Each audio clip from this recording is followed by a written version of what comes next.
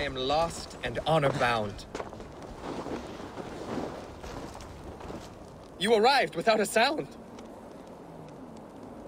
Are you a skald? I've never heard poetry shouted in this way. A skald? Oh no, not at all.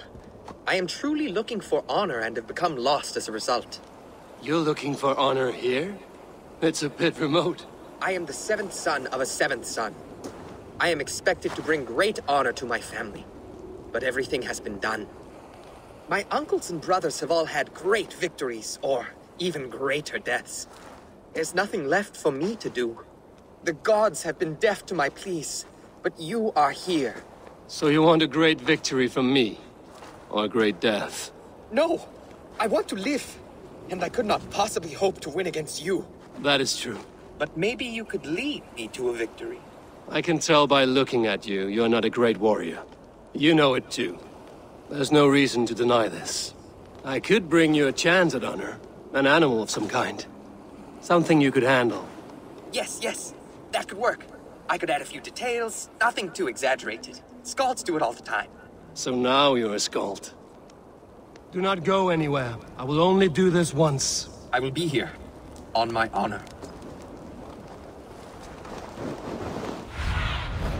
Cast about this land, my friend.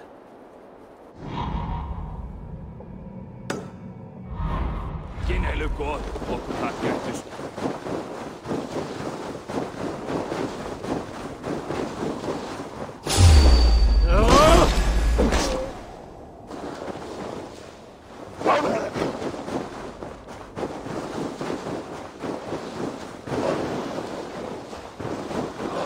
Make sure to bring me a beast! Now, win your honor. They are much bigger up close. I do not think I can do this. I do not think I can do this! Come, Erlend! Honor calls! Oh, they don't shoot sheep.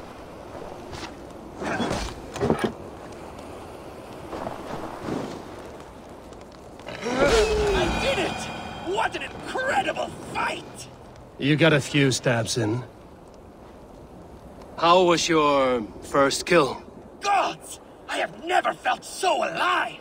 My hugr soars on raven's wings! With this rebirth comes a new name. From this day, you will be called Erlend Wolfwhip, Killer of Curs. Oh, it suits me. You know, now that I think about it, I think my story should be told in verse. Farewell, Beast Beta. Erlend Wolfwhip, hear my name and no fear! I will be here. On my honor.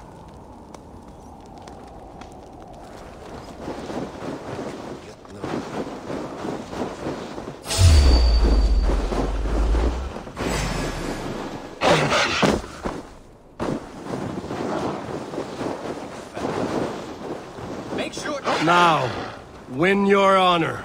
they are much bigger up close. I do not think I can do this. I do not think I can do this. Come, Erlend! Honor calls!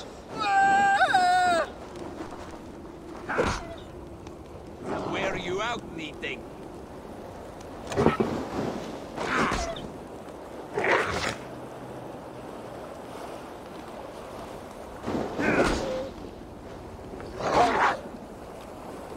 Watch my back.